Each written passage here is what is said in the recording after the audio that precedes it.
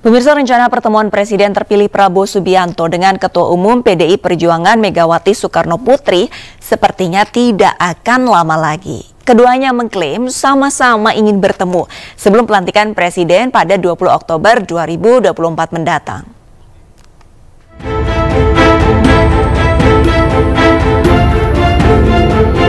Momen menarik tersaji saat upacara peringatan Hari Kesaktian Pancasila di Lubang Buaya, Jakarta Timur. Ketua DPR RI yang juga Ketua DPP PDI Perjuangan, Puan Maharani terlibat obrolan dengan Menteri Pertahanan yang juga Presiden terpilih Prabowo Subianto. Saat disinggung terkait rencana pertemuan antara Ketua Umum PDIP Megawati Soekarno Putri dengan Prabowo Subianto, Puan Maharani memastikan keduanya akan bertemu dalam waktu dekat.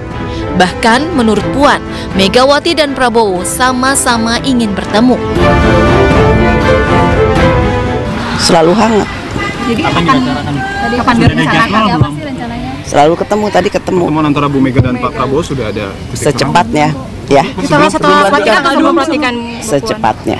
Ya, Sebelum tanggal 20 atau sudah? Tapi Bu secepatnya. Mega sudah sudah Bu Mega sudah ingin gitu ya Bu ya. Memberikan lampu hijau, Mbak. Semua be- eh, beliau berdua sangat berkeinginan ya. Hal yang sama juga disampaikan Prabowo usai menghadiri pelantikan anggota DPR dan DPD RI di Gedung Parlemen Senayan, Jakarta. Prabowo menyebut pertemuan dilakukan sebelum hari pelantikannya.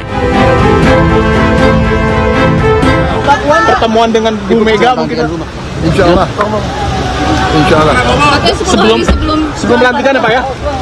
Sebelum pelantikan. Mudah-mudahan sebelum pelantikan. Persiapan persiapannya gimana Pak? Persiapannya bagus.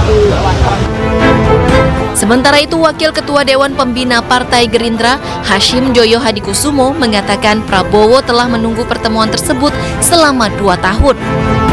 Kendati demikian, Hashim tidak menjawab kapan pertemuan akan terlaksana.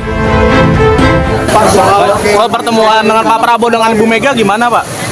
Pak Prabowo sudah menunggu dua tahun. Iya. Terus, terus gimana Pak? Akan akan segera sebelum pelantikan atau seperti apa Pak?